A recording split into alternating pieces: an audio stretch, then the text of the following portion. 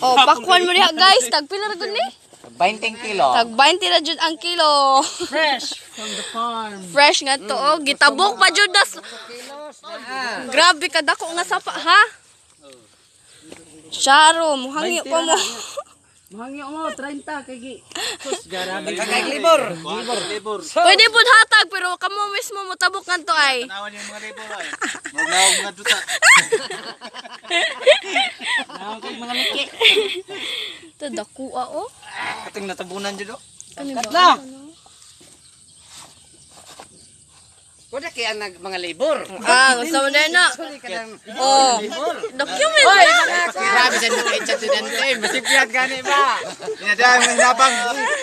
Dire, linya lang mo dire. Dalawa yung taon yung tagagintigian. Para lang kapalit sila bugas. Ang libor yung tawag pakwan. Parang may muloy. May mga rin politiko ba? Ning eleksyon na ba? Oo, oy. Oy, Panahon ron sa... Ron.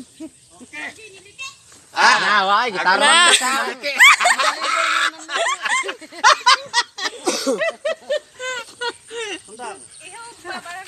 Ha? Nasa ron tayo anong tingakot ng tinis ano? Dito. Oh, may sugo. To dakua ato uy. Makatunan nila. Makatunan nila. Nahinay dong kay awat to ni. Oh, may sugo. Kuan man. Behem to.